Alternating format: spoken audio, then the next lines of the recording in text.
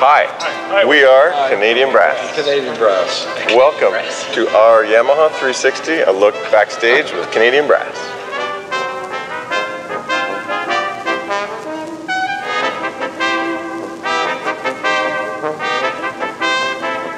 Canadian Brass started in 1970. Uh, we were, needless to say, quite young at the time, and we had uh, aspirations of, of taking music that we loved, but there was really no audience uh, built in for us.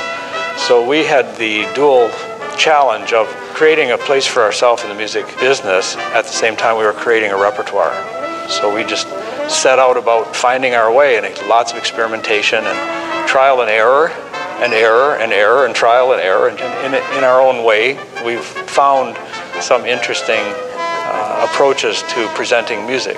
It's really the presentation style that, that set us apart from other string quartets, other ensembles, and even orchestras. So we had to figure out how can we play and people notice that we're there. And that's where Chuck started speaking all these wonderful lines and, and building a relationship to an audience just through verbalizing.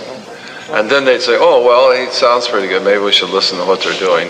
But that sort of thing. And that's sort of uh, we, we felt, in a sense, like we're performing. And if nobody's looking at you, you're not performing.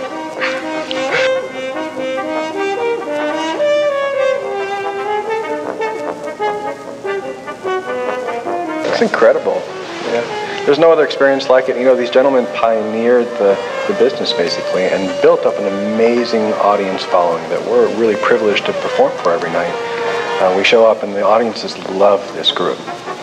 And what's happened really over the course of now 40 years, we're approaching our 40th anniversary, which is really incredible. And this is, I, I'm using incredible a lot. I think that's the best way to describe it.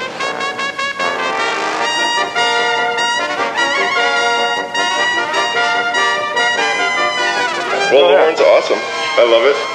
For me, I ended up on it um, because of the sound and the experience of playing it, but also the consistency of them. And I think each of us have had baggage handlers do some magical, destructive things to our instruments. We end up in some town in Europe.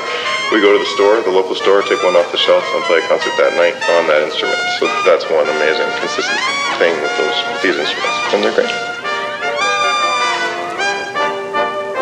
We're Canadian Brass. Thanks for watching. We're. Canadian. Thanks. Thanks. Lot. Yeah. See you later. Bye. Let's go. I think. Oh, let's go.